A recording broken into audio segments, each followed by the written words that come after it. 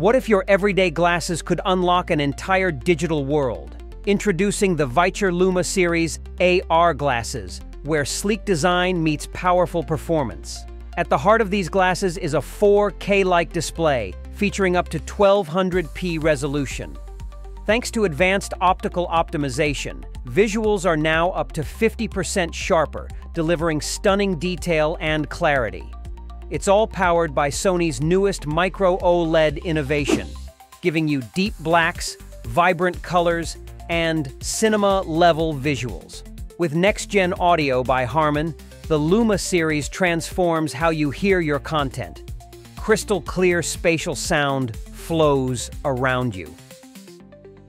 No bulky headphones required. It's immersive, rich, and built right into the frame. Comfort, precision, nailed.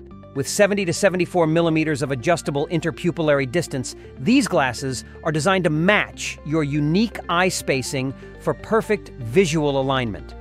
The lenses use electrochromic technology, so you can instantly block out the real world with a tap. And on models like the Luma Pro, you even get dynamic RGB light effects for that extra flair. But the Luma series is more than just hardware. It's a complete digital ecosystem. Whether you're on Android or iOS, Mac or Windows, Nintendo Switch or Switch 2, you're covered. From remote play to cloud gaming to full desktop mirroring, everything just works. A front-facing RGB camera unlocks future AR applications and gesture control.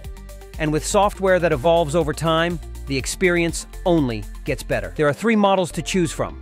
Luma, the lightweight, everyday AR companion. Luma Pro, with enhanced display, RGB lighting, and improved comfort. And Luma Ultra, the most advanced, featuring 6 degrees of freedom tracking, hand gestures, and pro-grade sensors for spatial computing. Whether you're a gamer, a creator, or just someone who wants to see more, the Viture Luma series isn't just smart glasses. It's your new screen, your new console, your new workspace.